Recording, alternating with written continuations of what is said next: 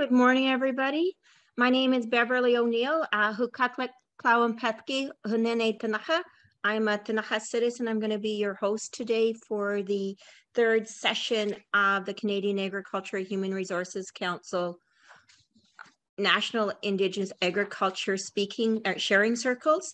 Um, today we're going to be going, uh, today's topic is product uh, is on production, marketing, and packaging. So welcome everyone. We have a number of people as participants here online.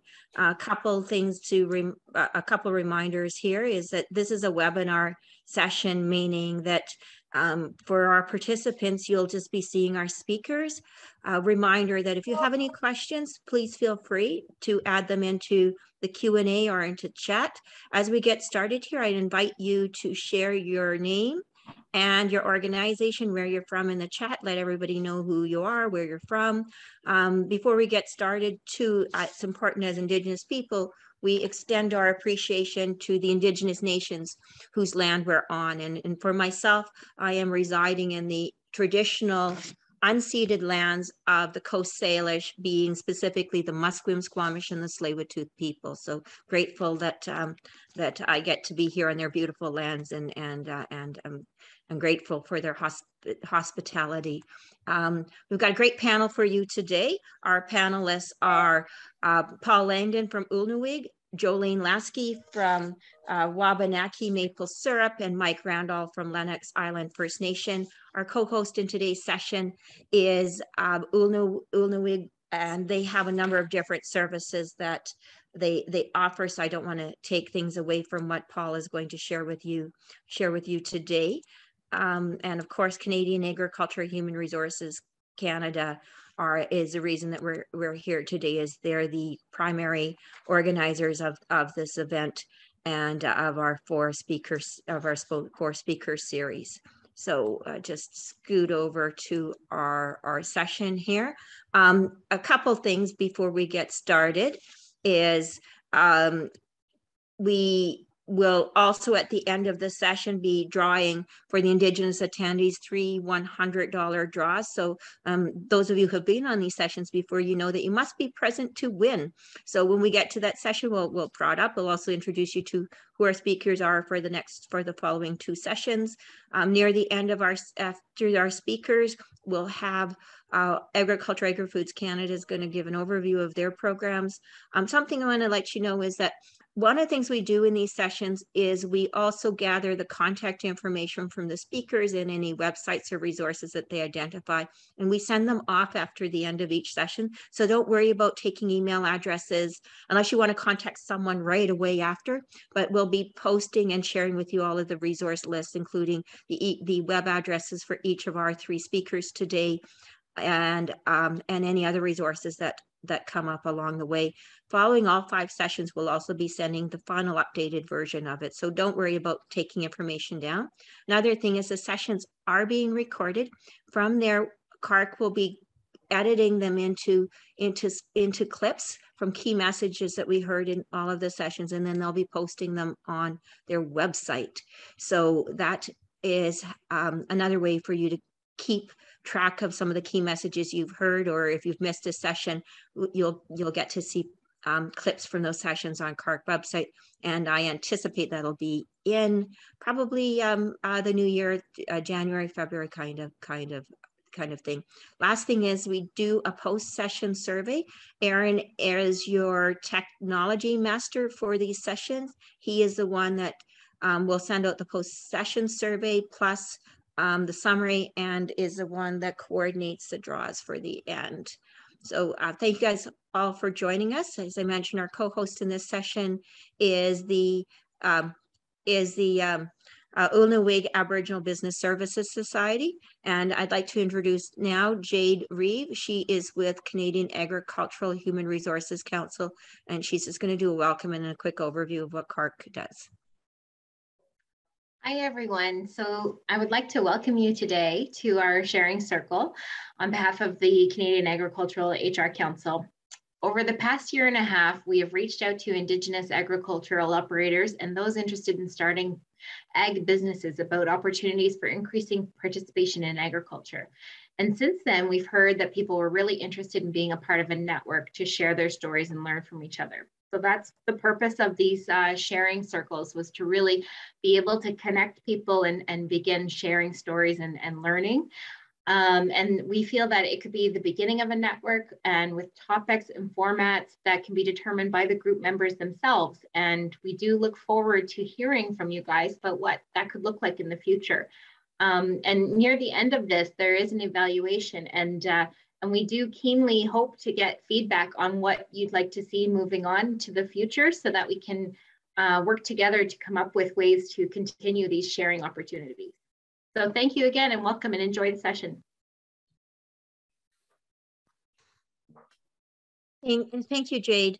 Um, as I mentioned, our co-host for the session is Aboriginal Business Services. All of our speakers are from Atlantic Canada. Uh, to let you know, during the sessions that Jade had mentioned that CAHRC had, uh, had been conducting with um, Indigenous and, and First Nations uh, organizations and operators in all areas of, agriculture, of of agriculture that goes from from cattle ranching to beekeeping to greenhousing, um, seed production, uh, cultural practices, and labor, and and uh, and today onto uh, onto production. For me, what really stood out is the amazing things that Atlantic Canada is doing. They they have done. Um, um, showing, I, I, guess, others across Canada how First Nations can really be, be leaders in creating food security and um, and finding finding your position back in in the agriculture and food industry in, in your area in your homelands itself. Um, I, I, I keep raving about their website. I love their website. If you guys have, have not visited it before, do. It to me is one of the top Aboriginal um, capital corporations Indigenous financial institutions websites across Canada. It's got incredibly useful tools on it, and they do a ton of a ton of different things. Our speakers today is um, uh, Paul Langdon. He's going to be speaking from Ulnooweg Aboriginal Business Services. We've got um, so Paul get uh, give everybody a wave so people know who you are. We also have Mike Randall. He's with Lennox Island First Nations Development. He's their economic development leader, and they're doing amazing things in large production and food security. And we've got Jolene Lasky, uh, Wabanaki maple syrup. Um, she's tapping trees and bottling them um, and flavoring them with whiskey and brandy. You guys have to see the packaging. Uh, it's absolutely amazing. If you haven't tried her maple syrup yet, it's delicious. We had it the other weekend on our pancakes, my running group. It was something we all looked forward, forward to um, during our run. Absolutely delicious. So really excited to have our, our three speakers here today. Um, I am now going to um, ask uh, Jade if she can just do a little introduction on what the um, National Occupational Standards uh, Initiative is, and then we're going to get into um, uh, Paul speaking about Ulnooweg. Absolutely. Thanks, Beverly. Um, yeah, so CAHRC has done extensive research to really understand all of the modern jobs in agriculture, and we've done that across many different commodity groups. And so we have selected five that we thought would be of interest and apply to um, Indigenous agricultural operators that may have an interest in helping us with this research to ensure that we can put um, an Indigenous lens on it and make sure that some of the production practices and some of the information contained within these, these documents has that reflection. Um, so basically what they are is detailed uh, task list. So it, it really spells out, it doesn't, it, they, they will help inform training. Um, it doesn't have the how and the why, but it spells out from A to Z what you need to do to be proficient within your role as a worker, as a supervisor, as a manager. And, and um, what we're hopeful for is that we can find people that would be interested in reviewing it and making sure that we haven't missed anything, or if we need to adapt things that we would like to, to make sure we can do that to make it all encompassing. So if you have any questions about that, uh, you can certainly send me a chat message or an email. I'd be happy to discuss. And then we're going to be um, working to, to share these with people that are interested and collect that feedback. So you'll hear from myself and Beverly as we move forward. If you have an interest, don't, don't hesitate to reach out. Thanks. Thank you, Jade. And, and as she mentioned, the National Occupational Standard groups that they'll be seeking feedback from are those five. So if uh, you have an interest, send a message to Jade either through her email or directly through chat uh, during these sessions would be would be great too. So we're looking for some people who have experience, awareness, and in in any one of these five categories to pro to provide and apply the uh, Indigenous lens to them um, and, and what are our standards in our Indigenous operations. So, um, and Jade, the wage, wage subsidy. Uh, yes, and this is another initiative we have underway where there's an opportunity to um, receive a wage subsidy as an employer per student that you would engage, but the student must be enrolled in a, in a current program that has a work placement um, but for more information, this runs until the end of March. We would be happy to share more information. You can, I can put the link in the chat uh, to make sure that you can access the, the web for more information, or again, contact me and I'd be happy to chat with you to help you find out how this may work for you as an employer. Hey, thanks, Jade. And, um, Erin, why don't we add that link to the chat so while, we're, while our panelists are, are speaking, people want to just take a quick visit and even though you guys see that this is running from September to the end of end of March, and you're going, but our agricultural season is already over. Um, thing is, is that this can be used for any any operation. I understand in in your in your in your business from web design to to planning um, to um, to getting technical. So it, it's broad. So just check in with CAHRC and they'll give you further information on what it is. So so um, there you go. Um, we're now going to go to our first speaker, and this is our co-host. When we're doing these sessions, we also wanted to raise awareness of the different Indigenous organizations and initiatives out there are taking the lead in supporting Indigenous and First Nations agriculture, aquaculture, and, and food production initiatives. So I'm going to just change over here to the Ulnooweg um, uh, uh, PowerPoint. And if Paul Langdon, if you can just come on screen and I'll just uh, bring you up bring your PowerPoint up. So hello, Paul.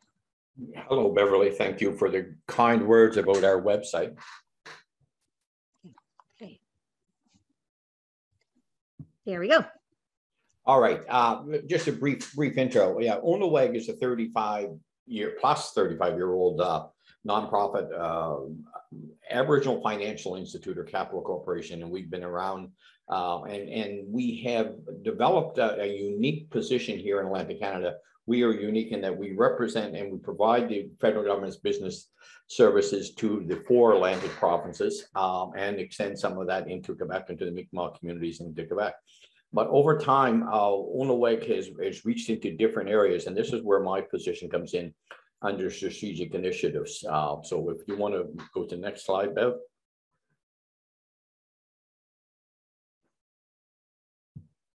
Uh, we we are you know an economic development agency's planning strategy and executions supporting capacity building providing capital and broker access uh, offering sectorial expertise in key areas of interest and undertake targeted research to address challenges and this this is very specific in, in the activities that we are now leading into and leading a broad-based effort nationally and regionally to open new avenues to access capital engagement uh, with philanthropy um, and, and these, we, we will, I'll touch on, on some of these as we go forward.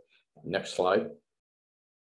And we, we, we my position was created to try to figure out why there was uh, an underutilization or, or low participation in a lot of sectors of the economy. Specifically, it was with the Irving Shipbuilding Project for the Canadian Navy to build 60 plus billion dollars worth of ships. And uh, we, we reached out and uh, knocked, knocked on doors, uh, got involved, talked to all the key players, and uh, re realized that what we were looking at, what, we were trying to figure out was where the ind Indigenous entrepreneur and business capacity was. Next slide.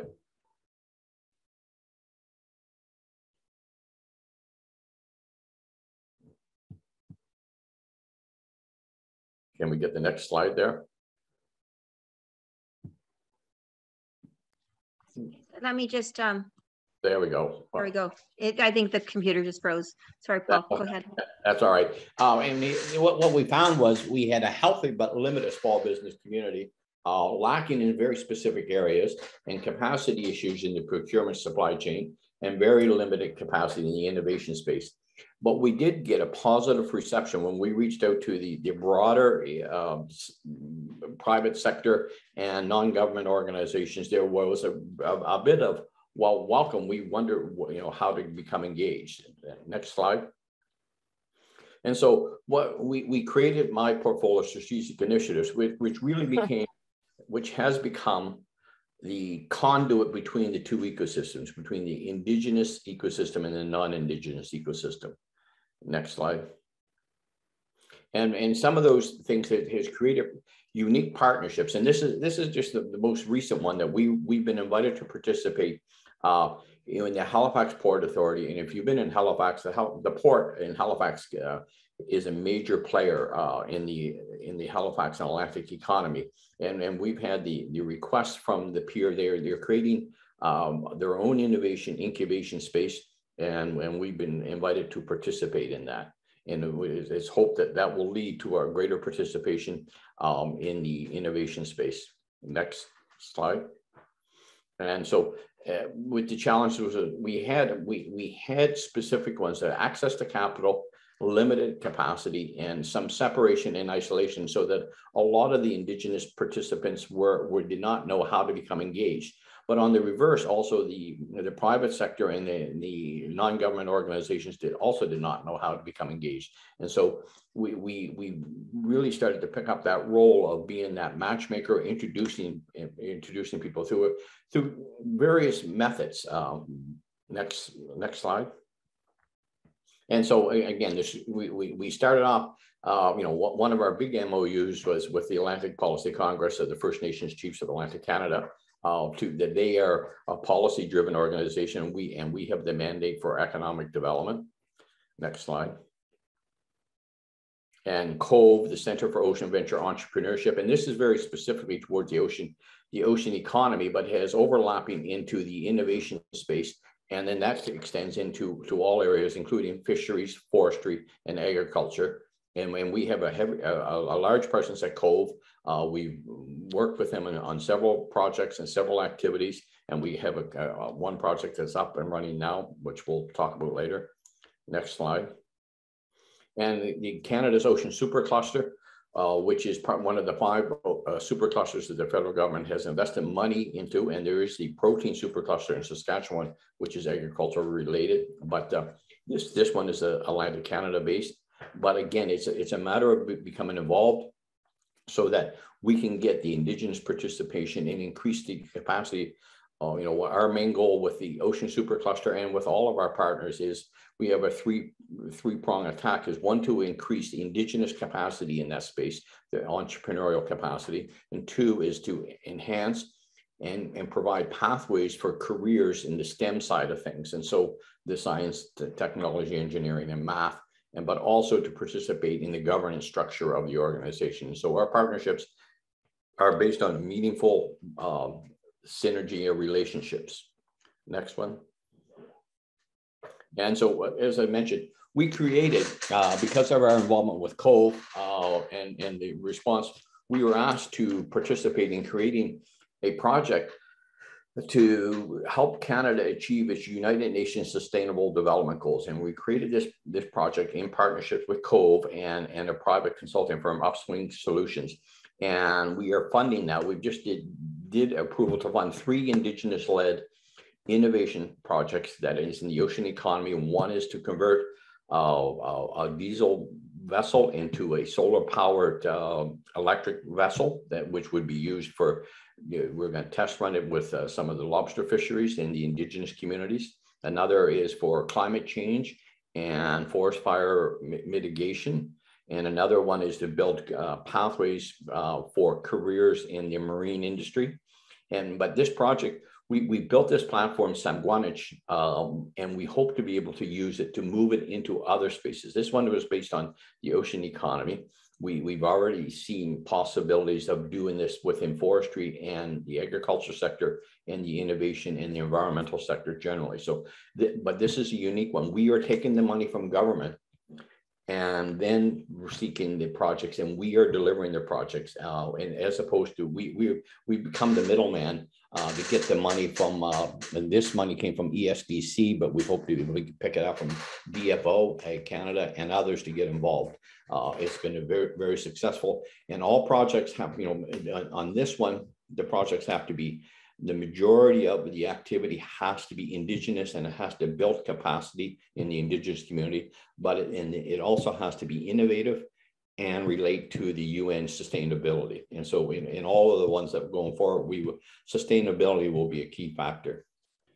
Next project, next slide. And then, and we, we've created uh, an Indigenous Communities Foundation. Um, next one.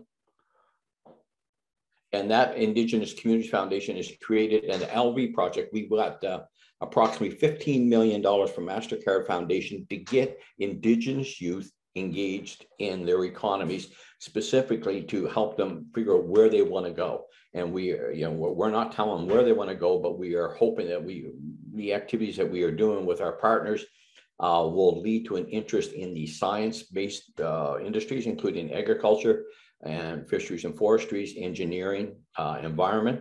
Oh, and so this they, they are already on the ground. They're meeting with with the people and they're trying to create that. So anyone in Atlantic Canada, uh, you know, if, if there's an interest there, please reach out and we will put you in contact. Next one.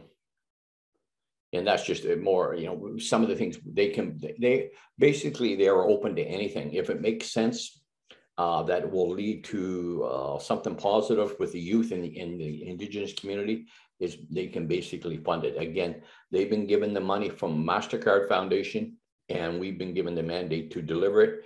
What we've done is gone out and engaged indigenous youth to deliver the program and we're trying to stay away from it, but let them figure out where, where they should go with it. Next slide. And our digital Mi'kmaq has now been transformed into a Ulnooweg Education Center. And they are on the ground and, and, and their pathways too is to create interest in the sciences. And so we're working uh, with others. They've uh, now converted over and, and, it's referred to as the Ulnooweg Education Center. Uh, they were originally set up to do coding. They got involved in robotics. They're now getting involved in, in activities on the ground, including greenhouses to get interest in agriculture and, and build upon that. And it's to introduce the youth to all those possibilities and that with the greenhouses, it can lead to solar power, it can lead to food security, it can lead to all those opportunities, but also pathways going forward. Next slide. And so the, these are just, I mean, what we've done here, and we have good relationships here with uh, uh, these organizations, ACADA, which is Atlantic Canada Aerospace and Defense Association, uh, APEC, which is Atlantic Province Economic Council, uh, Atlantic University Associate Academics, the Engineers, Architects, Public Service and Procurement Canada Advisory Group. The Bank of Canada is consulting with us. We are part of Indigenous Works. We have just got a draft agreement with Mitacs that we, this is going to be unique. It would be the first time that Mitacs is embedded a Mitacs employee within an Indigenous organization to increase the, in, the Indigenous participation in the sciences and the research sector. Uh, and we, we are hoping that we can use this space again to back, back up and, and, and complement what we're doing with the Youth Foundation and our Education Center.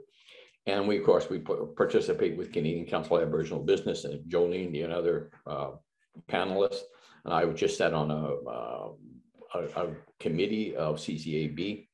Uh, we're involved with Acture, Ignite Labs. We have a relationship with Ignite Labs. Uh, and Ignite is an innovation space, and we we have a, a formal collaboration cooperation agreement with them. We are per, we are specifically working in a couple communities right now as tests to build uh, pathways into the sciences and anything's open, but we're right now we're going into Pictou Landing First Nation with the Discovery Center here and uh, with our education center to build possible opportunities. And but we are we become the conduit to connect the indigenous business sector with the non-indigenous sector. And of course, we we we closely work with JEDI uh, in New Brunswick and MEBO, the Mi'kmaq Economic Benefit Offices, and Atlantic Province Council, and MCPEI.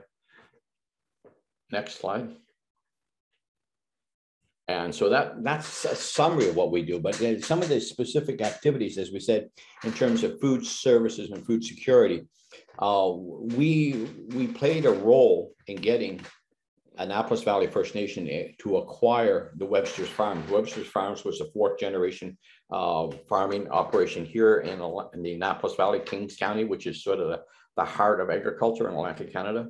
And uh, the, the, Annapolis Valley First Nation now bought, have bought and are in the process of, of acquiring full ownership of uh, the, the farm. Uh, we, as we mentioned, we're doing uh, greenhouse operations. Uh, and another project that we've got into is the acquisition of Windhorse Farms, which was uh, for five or six generations in the Wentzell family in Lunenburg and its old growth forest.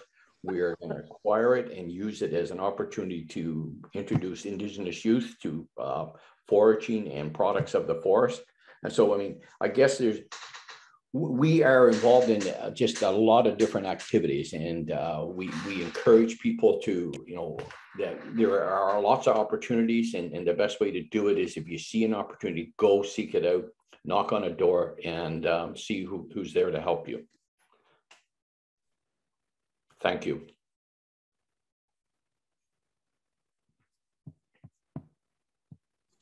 Uh, thank you, Paul. You guys are doing absolutely amazing stuff, and I love that it's it's not it's not limited. I think it's it's that idea that think bigger than anyone can achieve in a lifetime, and, and you're doing it. These the partnerships I'm hearing have been quite quite key in opening some additional doors for First Nations in that area and for and for the people your organization represents.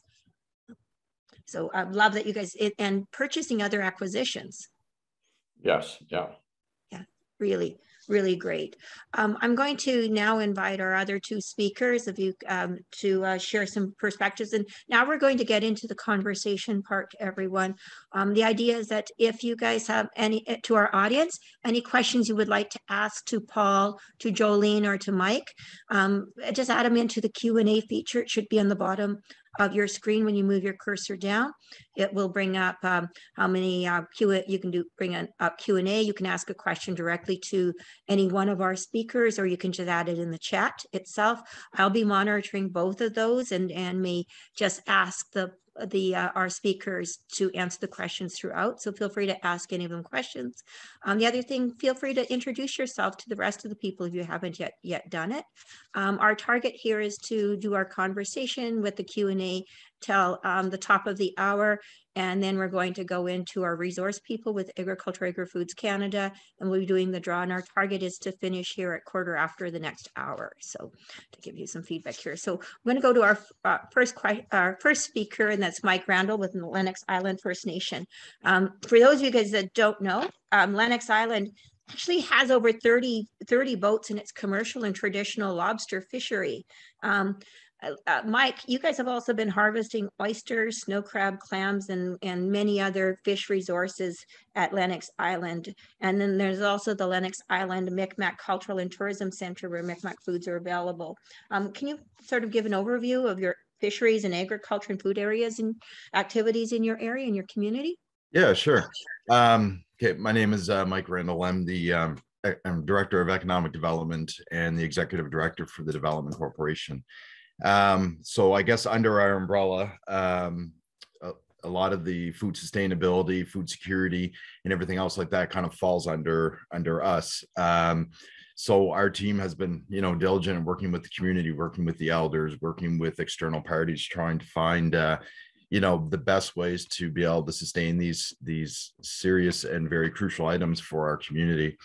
Um, so I guess uh, you know, moving past the Marshall decision, um, we now hold about 393 licenses in fisheries in general. So that that would be everything from uh, lobster, snow crab, rock crab, um, herring, um, silver sides, oysters, mussels, and so on and so forth.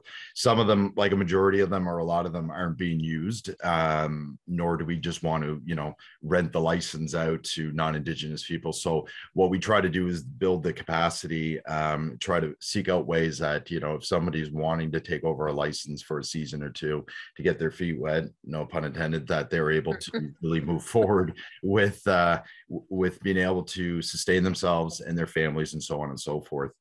Um, a lot of the initiatives when our chief Darlene came back in, um, she was chief for 15 years and then um, took a break for a few for a couple terms and then uh, re-upped about two two and a half years ago or so.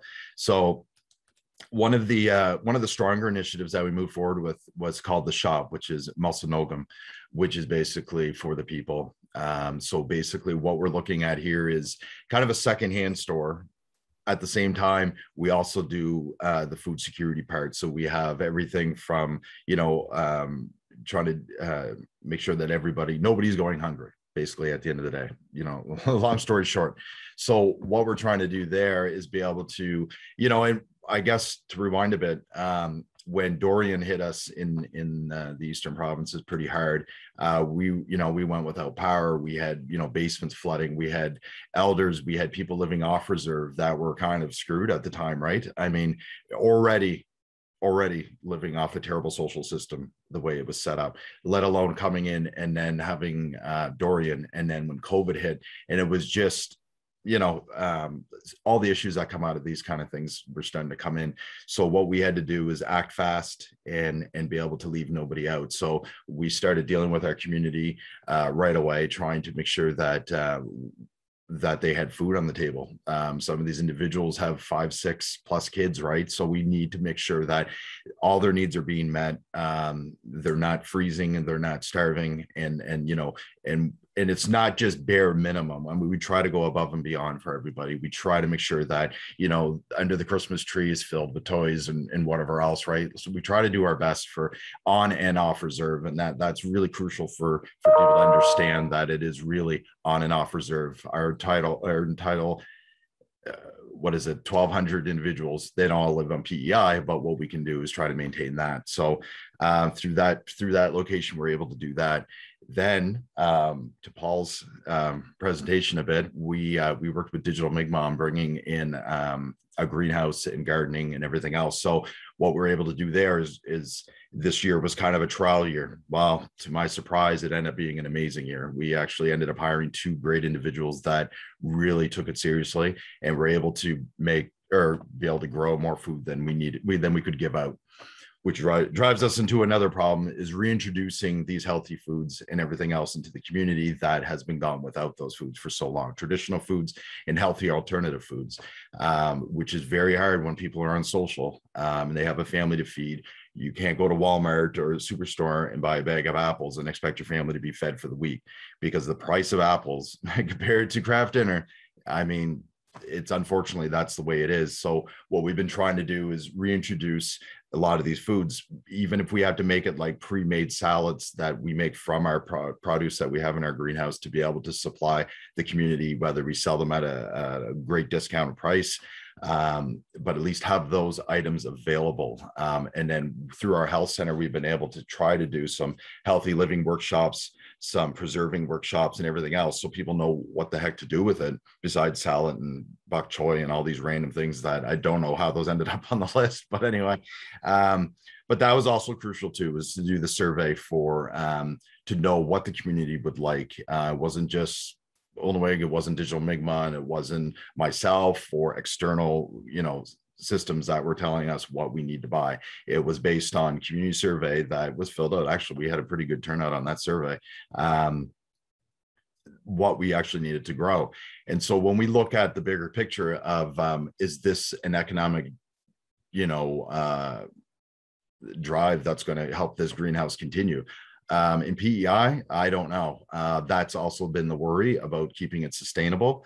Um, so what we may look at is probably about 60, 40% that if we can look for 60% funding to keep this sustainable, maybe, you know, between 40 and 30 or 20% uh, on our sales, then maybe we can keep it going a little bit better. But there are so many farmers markets, there are so many mom and pop shops, there are so many, um, you know, hobby farms in PEI as it is that these people need second jobs just to keep themselves going and these could be generational farms as well so we have to keep that in mind. Um, I know that it does weigh heavy on our staff at the greenhouse. Um, but again, I mean, that stuff falls on on the development corporation shoulders and chief and council and everything else to keep these initiatives going because it, because of the important crucial role that it plays within our community.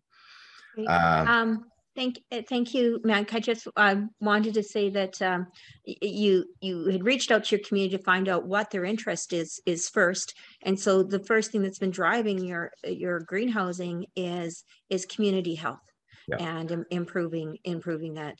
Um, now, at at some stage, do you foresee that maybe part of sustainability might be um, selling locally and and repackaging it? Yeah so that's the other part is when we brought we brought a few chefs in and we asked the question you know like uh about what you know when we go out there how do we package it? How do we sell it? What's our story and stuff like this?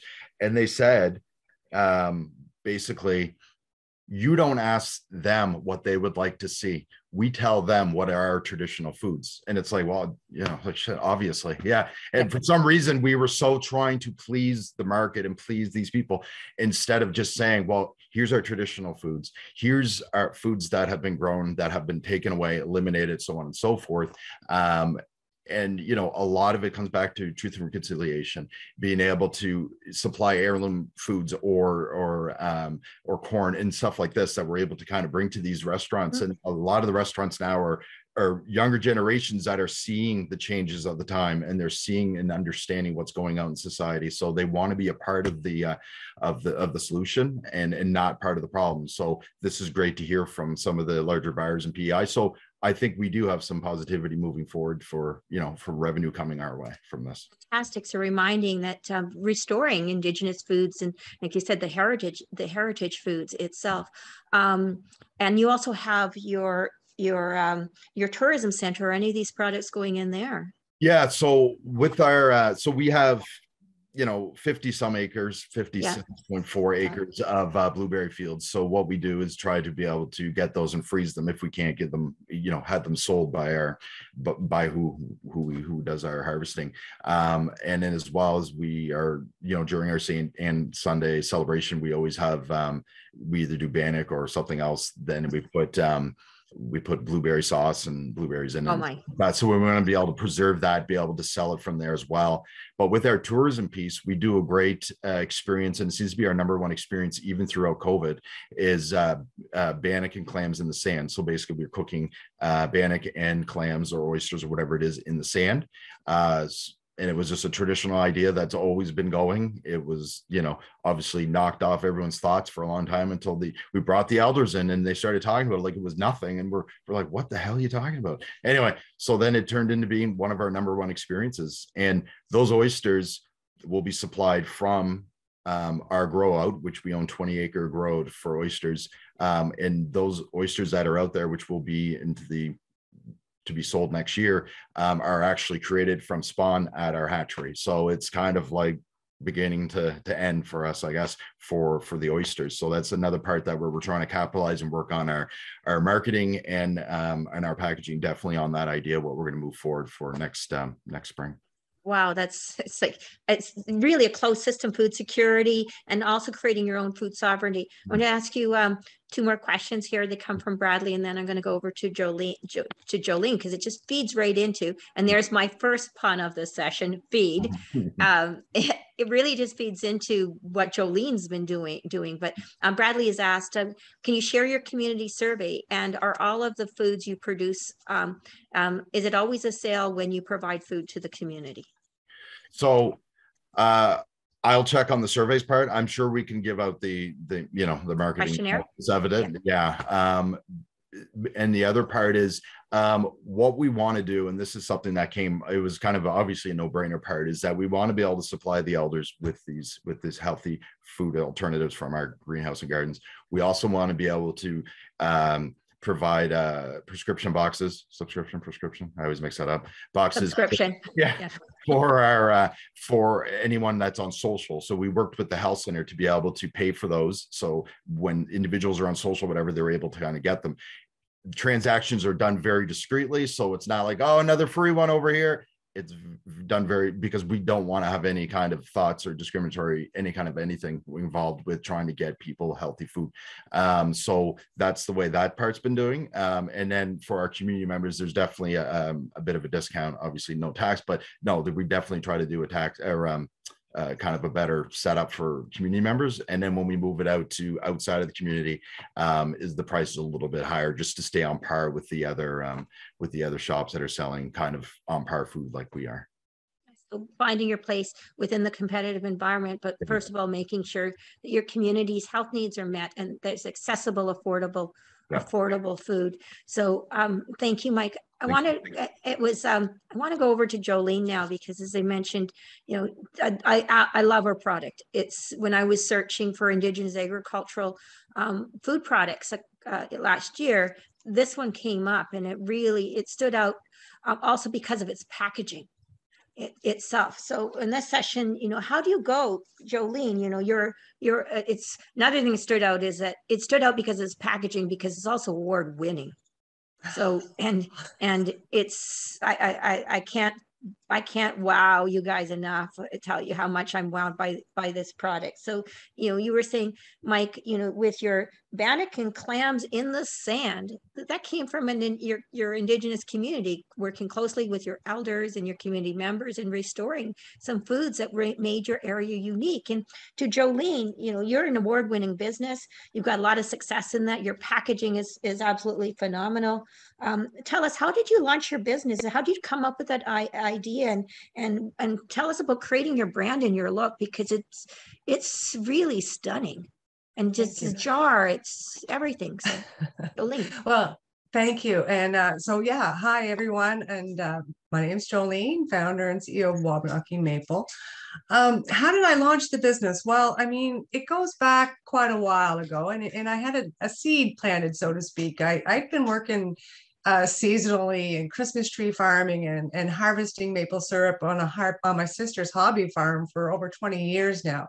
And, you know, I guess it, it um, I came to a point in my career working in restaurant and culinary as well that I just I, I found that it wasn't satisfying and I I wanted to move forward in another direction and start my own business that being into the maple syrup because I knew there was opportunities there um, and and the other side of that was that you know we take this this uh, resource i think mostly for granted that it's there and you know but but where did it come from? Where did it originate? And i and that was a big piece for me to share the indigenous side of it that you know um, it, it's always been part of our culture.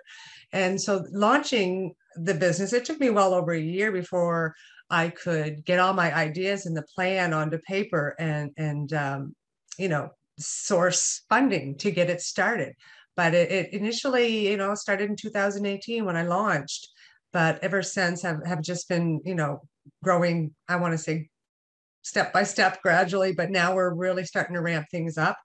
And um, and I just wanted to clarify one thing. I know you when you introduced us, it was that we are tapping our own trees. And to clarify, we're not tapping just yet. We ideally would have loved to initially, but that's another uh, you know another opportunity that's a little bit challenging is to to source um, secure the land to do so. So um, initially starting out this was a i want to say a way to access into the industry was to source from local suppliers and get a little creative using my culinary mindset uh, mixed it up and, and put a little twist on the maple syrup industry. So you know that's that's kind of how I started out, and and I had accessed um, and networked uh, uh, with different organizations like Jedi. Uh, Paul mentioned Jedi, fantastic. Um, uh, non-for-profit organization to help foster indigenous and entrepreneur economic growth and so you know that's where i kind of pulled together help they helped me pull together my marketing plan my business plan the branding ideas that i had you know, get them digitalized so that I could actually, you know, um, produce the branding, the bottles, the branding, the all the marketing materials that that I had envisioned in my mind.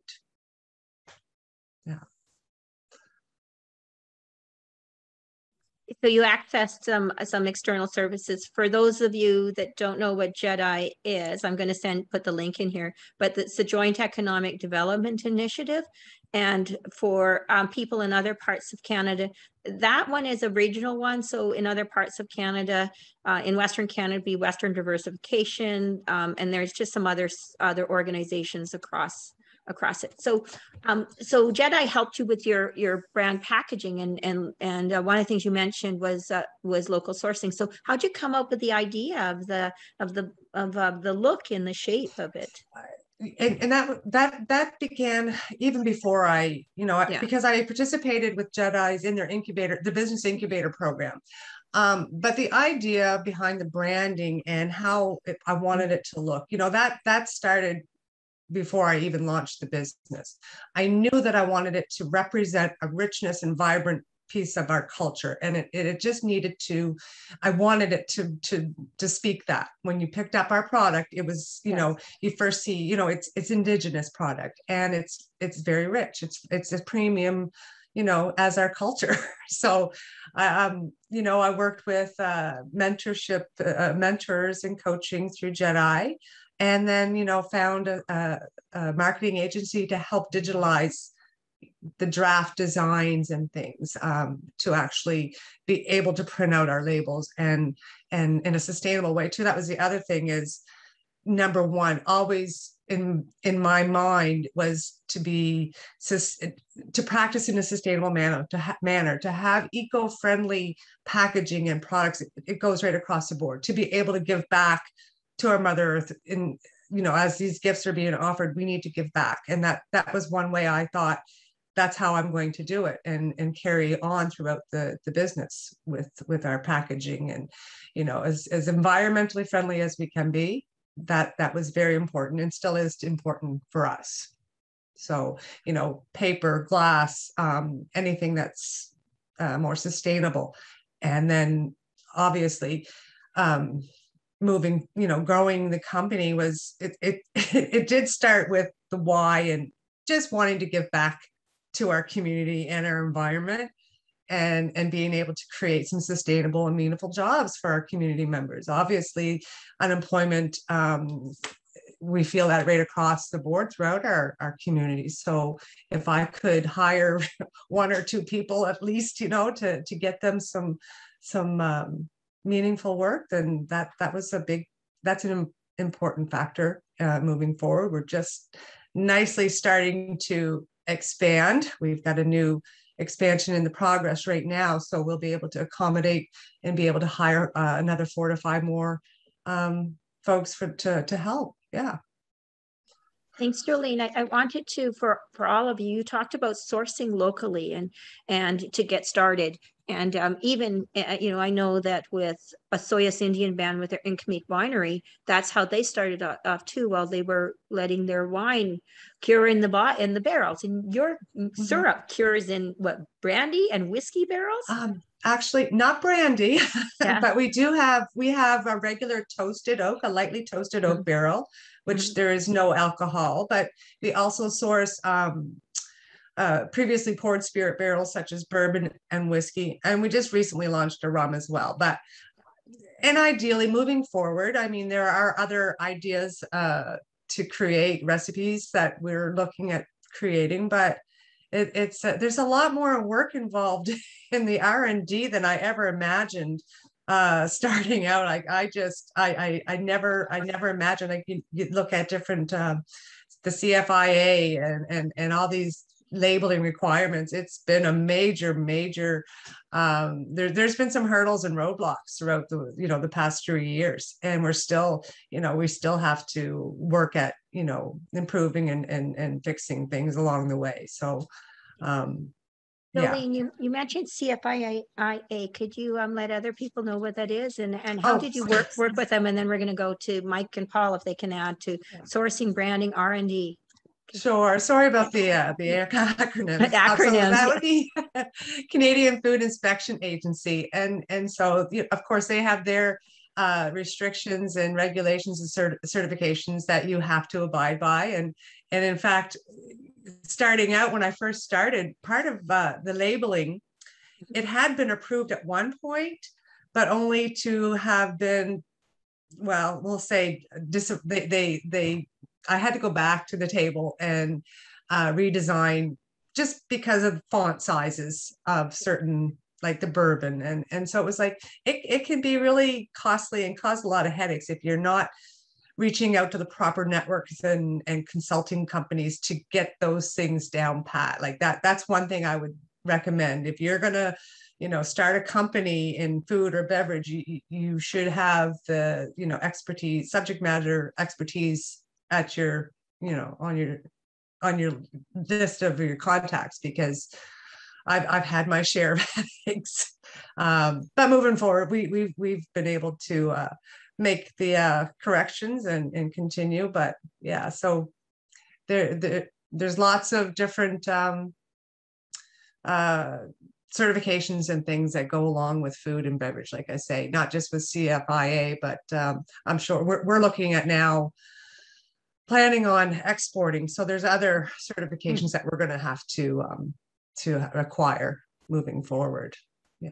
So for those of you in our audience listening, um, you're saying, you know, uh, start early working with the labeling agencies. And, and for local markets, I understand that uh, labeling requirements are less stringent, but as you're starting to expand each market out, then the, the requirements um, are more technical and and and detailed like you're saying in the export market there's there's additional uh, rules and guidelines you have to comply with Mhm, Absolutely. Yeah. Great. Let's um let's hear from Mike and, and Paul on this one. Um, how are you guys doing product packaging and marketing and accessing new markets? And Jolene even mentioned research and development, always thinking about that and, and being on top of new opportunities. So Mike, I Mhm. see um, um, you uh, nodding, so I'm going to go to Mike first and then to Paul.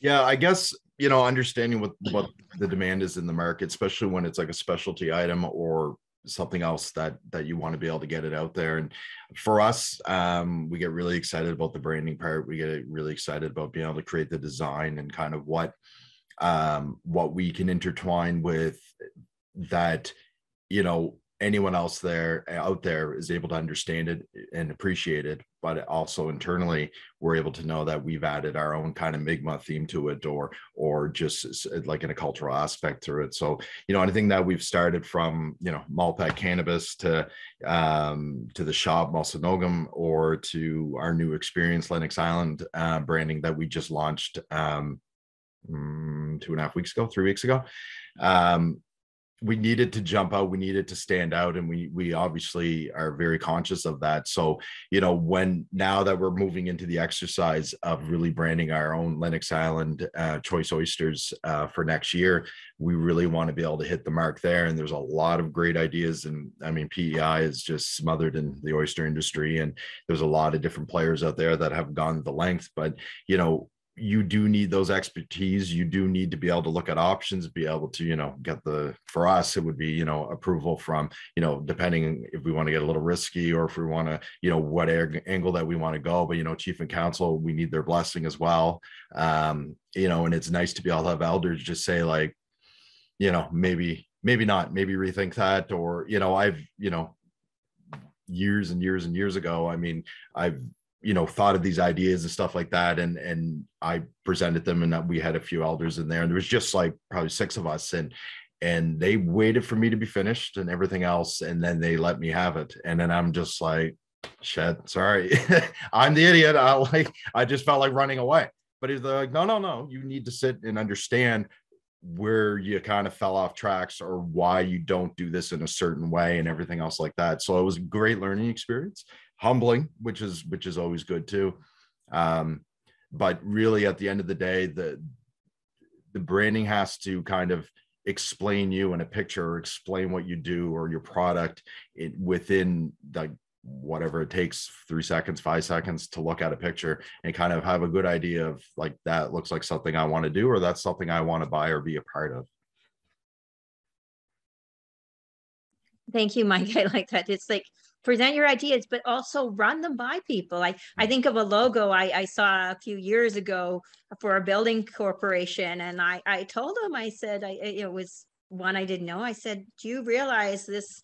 This looks like something not like like isn't a building." And they went on to explain what they thought what what it was, and I went, uh, I know it's supposed to intend to be that, but it's um, you needed to run this by a test market. So test marketing, you're saying your your elders, your community is going to guide you on how to do it and and, and finding your niche in that competitive market Mhm. i- it's key. Like is very key because a clam coming from the same source as other as 10 others you need to create a, a message a meaning around it to give it like to give it Yeah. additional feeling and and connect the buyer with that Mhm, mhm. very good. Um, Paul, your thoughts on how do we brand and market and enter and enter new markets itself? Because Jolene, I understand you and Jolene have sat on the Canadian Council for Aboriginal Business, and we'll add that link link um, to our chat here. Um, but you guys are sitting on a committee for export. So how do our our our Indigenous uh, producers um, build and and enter new markets, including export markets? Uh, you're on mute. Paul, if you can take yourself off mute. There we go. Yeah. Do we Thank you, have sir. a full, full, full hour to talk this topic of branding? Um, Sounds then I- like we're gonna need another session for that, but um, I, I will back up here though and, and say what Jolene is doing is, is very typical of an entrepreneur going into a commodity market and trying to brand it. And, and when I refer to commodity marketing, I mean, basically, uh, a lot of agricultural products are, are just a pure commodity. There's no brand to it. So you buy grain, you buy wheat, you buy potatoes, you buy corn. There's, there's no marketing to it. And maple syrup can be bought on a bulk basis, just like uh, any other um, agriculture product. But what Jolene is doing is a unique thing of creating a brand that has value and then marketing that. And, and she's, and, and if you listen to what she's saying, it's a real, it's not an easy step, but there's steps. It's not an easy process, but there's steps that you have to take. And the best way of doing it is to get yourself immersed in it and reach out to all that is out there. I mean, I mean, across, you know, I've worked in eh, almost every jurisdiction in Canada, including Baffin Island and Northwest Territories and, and Saskatchewan, but there's always entrepreneurs and others out there who will help you, who can become a mentor or a go-to person, but also government agencies who have the specific mandate of doing that. The provincial departments of agriculture, the federal departments of agriculture, Ag Canada, Ag Food, but Farm Credit Corporation, um, you know, they, they, they do have their own indigenous uh, mandate to, to increase this. So don't try to do it on your own, find out who it is, but it is, it is about branding and, and, uh, you know, it is about getting that message out there and you got to be careful, like, um, Mike re- re- referenced going to the elders. And, and you, if you are going to move into that cultural community of, uh, of trying to market as an indigenous product, you want to make sure that you've got the support of the elders from your home community to, to go forward. Again, it's a matter of just, you know, like, like find out as much as you can, start, you know, start off with a notebook, start making notes and, and jump in there and immerse yourself into the broad ecosystem of what's involved in your industry. There's lots of information out there, but don't just search, search the web. Make the contact, go talk to people, go knock on doors, go find out who else is doing it uh, with your product or similar products. It, it, there, there's processes there. A lot of people have already, you know, made the mistakes and they'll, they're- ready to share with you. So, I mean, it is, but you, when you, you got to get your brand and you got to figure out your brand and then you got to stick with that brand and make sure that the, your, that strategy is what is based on your brand. Excellent advice, excellent advice, Paul. I like that, you know, uh, find out, connect with others. And one of the reason we're doing these sessions is to is to help strengthen your connections with other Indigenous people, First Nations involved in agriculture and agri-foods. And and Jolene is a great example of of um, of how you how you build it. You know, you're going to have some challenges along the way. It's just it's just inevitable. But learn from o- from others' wise ways. Um, also look internationally. We've got lots of international indigenous um, products out there and experiences to look at. So um, I'm gonna, uh, we've got a question here. Let's see, for Jolene, she uh, says, I I might have missed your um, missed this during your presentation, however, because she's sourcing from multiple areas. Is this based under a cooperative model currently? So So I source locally within New Brunswick right now. Um, not to say I wouldn't source outside of you know the Atlantic provinces, but I have some major players and, producers here. They are a we're actually members of the New Brunswick Maple Syrup Association are the ones that uh, I connect with. I am actually a member myself of the New Brunswick Maple Syrup Association. So yeah, Great, thanks, Joe. Thanks, Jolene. So, so um, Paul, Paul, and Mike, and and you have all been identifying that your relationship with others, the industry sectors, the the expert advisory government agencies are key to keeping your businesses and your initiatives strong.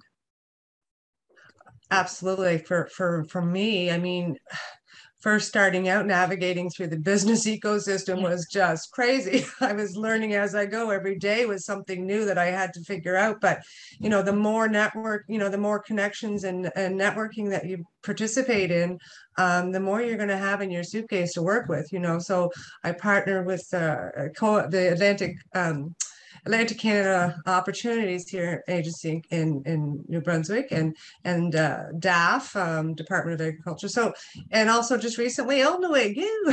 so there's there's so many different great resources out there, but you do have to look sometimes.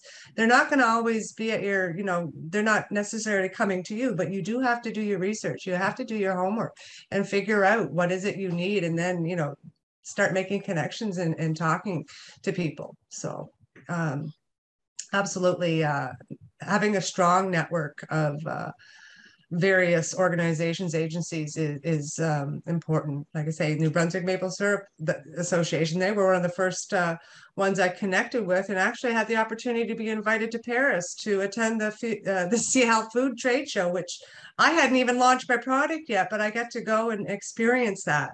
So those are those are things that I know now what to expect when once we do go and and, and participate maybe under the uh, the pavilion, the Canadian pavilion, one of these uh, days in the future.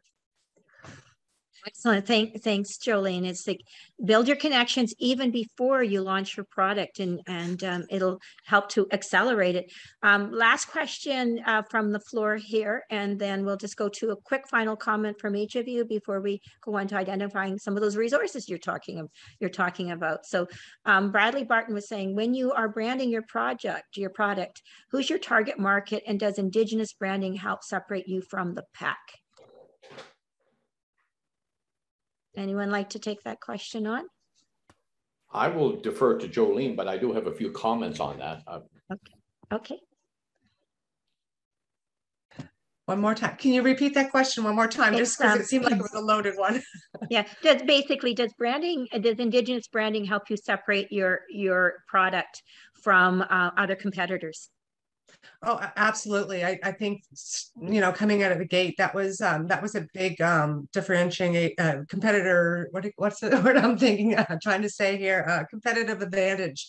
Hmm. Um, simply because too, being a, a, female entrepreneur, an Indigenous female entrepreneur, and and um, the first in New Brunswick actually to be um, to, to be marketing this type of product. Like it's it's it's not it's maple syrup but it's added value. There's a twist to it. There's more. And that was one thing you know um, doing the research and homework that's where that industry our industry is particularly heading is the added value and transformation of products. Um, so for sure it, it um, i think we came into the came into the business at the right time too with the with the reconciliation as well. Um, people are you know they're love they're they're supporting 100% um our the company and and what we're doing. So and as far as our who we're marketing to uh more of a niche market it, it's it's a it's a premium product. So we want to see it on the shelves of more higher end boutiques and and specialty shops health food stores. And and we're doing you know we're not doing any big big box superstore markets um, with our product. We're staying small. We're staying more personal. I want to I want to say if that makes sense. Yeah, great. Thanks. I, I get emails from your business as well on on how to use maple recipes. And so Yeah. that's the other thing that's that's about connecting with your buyer is the recipes side, keeping a regular communication with them and, and giving them other ideas on how to use your use your product. Okay, I'm going to go to Paul and then final comment from Mike. Any advice you have on packaging, uh, marketing, production of your experience of your product? Paul. Just yeah, general comment. There is value in indigenous marketing, indigenous branding. Uh, one has to do it very carefully and with cultural sensitivity at, at there. But we just recently in October in Wolfville, Nova Scotia, here the, again the heartland of agricultural production uh, for Atlantic Canada, they host an international food and film festival. And they bring in some big players. Tomson Highway was the guest speaker this year. Anthony bourdain previously was here. Uh, questlove from jimmy kimmel or jimmy fallon show has been here. Uh, and this year's theme was indigenous and it was and, and so the whole theme of this international food and film festival on food and film was indigenous. There was real value in that. You just have to be extremely cautious of how you present yourself and, and, and consult with your community on it. But yes, there is value. It's recognized that indigenous tourism, cultural tourism has real value. There's re real value in indigenous food. Food is a can become a tourism based type of product. So, you know, whatever you can do to promote it, it will have, it will, it will add value. Again, do it with caution. Uh, thank, thank you, Paul. Um, it does add value, and as Mike was saying, be cautious in how you do and make sure you run run it by. So, um, final final comment here from Mike. Any advice? And and for the three of you panelists, if you know a good wholesale packaging supply company, um, if you can just answer that question directly in the Q and A. So, Mike, your final advice to our, our audience. Yeah, I guess. Um, I just, I, I guess, really with the branding piece um, and being able to you know find your market and and whether it's doing test studies or just having that that focus groups or or surveys or whatever you need to do to be able to really maximize your you know your exposure on where you need to be whether it's specialty or or whether it's general or or whether like paul mentioned about certain industries in, in agriculture that you know you're just selling you know like for us with the seed we still branded as an indigenous owned and operated business uh, because that's very important to us um, and do our buyers care at the end of the day who owns the business? They like our product and they want to move forward with it and and they praise it or whatever else they do but it helps them within the industry in in the oyster industry and pei so you know but for us and and for you know we hope that at the end of the day it may open doors for more exporting outside of pei but for us it is crucial for that branding to be on par for us. Um, it's a great exercise that we always felt that gets people energized and excited about the business. Thanks. I think um i think thank you um mike. I mean you guys all three of you guys were talking and it's like do your homework do your research. Um, and and you know your research also includes a rolling out plan like how are you going to start and introduce your introduce your product? And then what markets and geographically and, and expansion on that? I love jolene that you mentioned reconciliation that that with that recognition of a need to um, create a, a, fruitful relationship between first nations and and the non-indigenous community that um, it's it, creates opportunities for our businesses. Um, when you and you guys have all said there's opportunities to identify as an indigenous businesses now. And that it also i think mike you were saying too that you know to paraphrase the uh, that it can create community pride to see their name on on indigenous products and businesses that are doing well. So remember um, to label your experience your products as much as possible indigenous there are markets available for that. And i heard a keyword from jolene saying premium. And and being selective. You can do the wide walmart um, target everybody approach or you can go with the ones that will appreciate your, your experience. So thank you to, to all of our three panelists, to Jolene, to Paul, and to and to Mike on sharing your experiences and, and ideas and recommendations on Indigenous food product packaging um, involving community and also um, looking at research and development. Now, um, and please for you three, if you can just revisit the the uh, questions from our our audience through the Q&A if you can respond to those directly. I'm now going to move us on to our final activities here before we get to our before we get to the um, um, uh, final draw draw here. And this is um, Farm Credit Canada. Jesse Robson isn't available today, but we've got Dominic Kelly from Agriculture Agri-Foods Can Canada um, as a tag team on just uh, highlighting some of the programs that Agriculture Agri-Food Canada does. Um, uh, Dominique. And for Paul, Mike, and and Jolene, um, Jolene's already done it. If you can just um, uh, off video, and then we can just focus on Dominique. So Dominique, you're up next. Hi, thank you. Um, my name is Dominic Kelly, and I'm the manager for the Indigenous Pathfinder Service at Agriculture and Agri-Food Canada. Um, what we do and what our service is for is we work with Indigenous groups and Indigenous communities who are looking either to enter into agriculture or want to expand their agriculture business or agri-food uh, businesses. Um, clients can contact us directly and we'll work with them, we'll listen to their project ideas, and we'll help them to identify uh, programs and services that are available within our department. And then we also help each of the clients to connect to those programs and services. So we'll get people in touch of a, with a program manager, you know, program officers, and we help people walk through, uh, you know, step by step through the entire process. Um, Agriculture and Agri-Food Canada has uh, several programs I think that are going to be of interest to people here on this call today. Um, the first one is the Indigenous Agriculture Food Systems Initiative. Um, what this program is, it's a it's a five-year, 8.5 million dollar program that provides funding for Indigenous communities looking to develop an agriculture agri-food project that is community focused and Indigenous led. Um, the only um, kind of caveat on this program is the program has to support economic development and be self-sustaining within a reasonable amount of time after the funding has been issued. So we're looking at like projects being like sustainable within pretty much two to three years.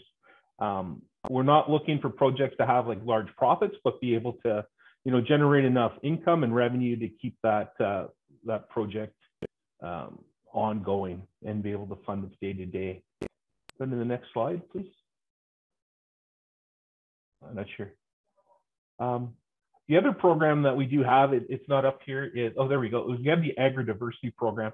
Uh, this is more of a, a, national focus type program um, that works with youth, women, and indigenous people and people personalities, or sorry, disabilities, to be able to uh, develop national representation. So in this program, we've worked with several groups that have gone from like not having a national representation to having like full national representation. Um, and we also fund other things like if you're looking or if you have like a regional type um, conference, um, anything like that, uh, this program has also will also provide some funding for that conference to happen. So it doesn't have to be national in every case, but in some cases it could just be like regional participation. Um, the fourth program that we have here is the Local Food Infrastructure Fund. Um, this fund is now, it's five years, uh, $50 million uh, program.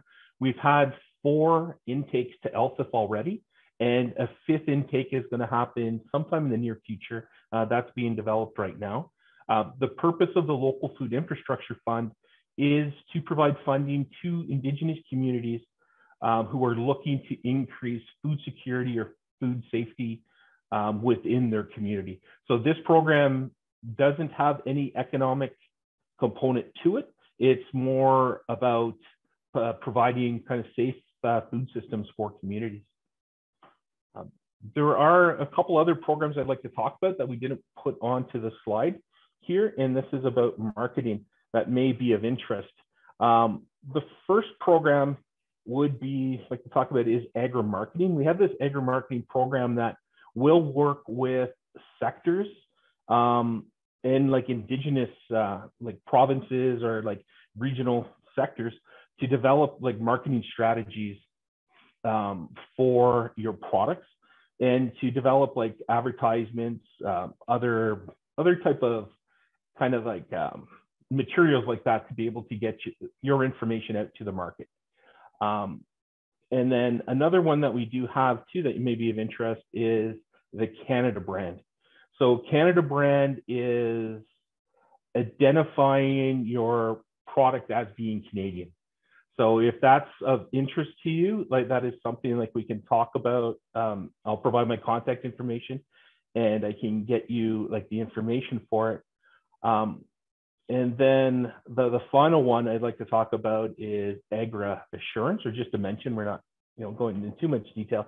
And I think agri-assurance is probably one that you may be like very interested in. Agri-assurance will fund, and we've been looking for um, an opportunity for a while now to be able to develop like an indigenous type branding type program.